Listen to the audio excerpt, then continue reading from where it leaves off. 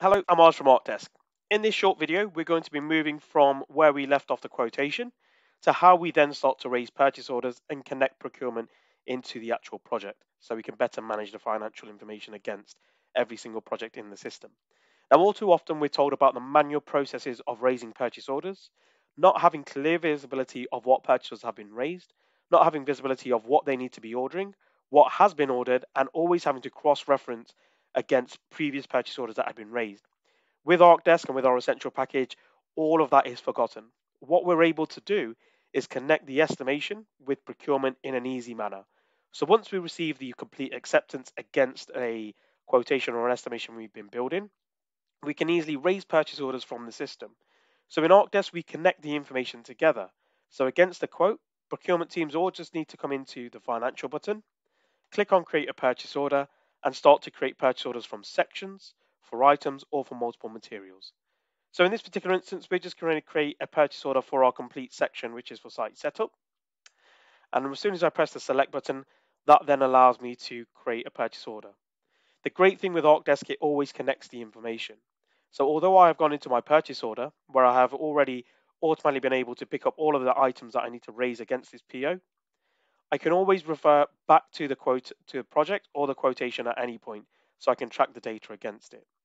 All we now need to do is go into our file and edit button and push this out to our supplier who conducts all of these particular materials or works for us. So I'll go into the edit button and it allows us to make changes to the purchase order where necessary. Most importantly, it allows us to connect to our supplier database.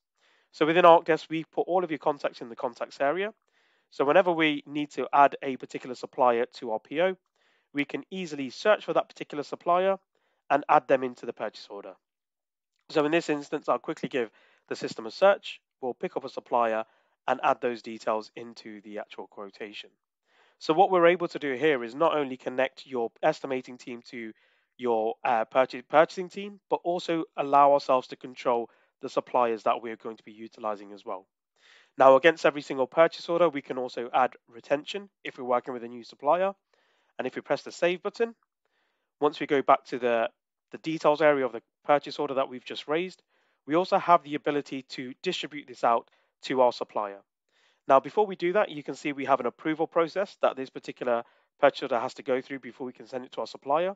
So I'd need to get procurement to approve everything and then move it across and then we can distribute it out.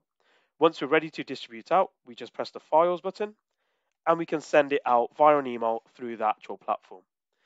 What this then allows us to do is include any attachments that we need to send to that particular supplier so that they can fulfill the order and make sure that we can then track the purchase order all through the process.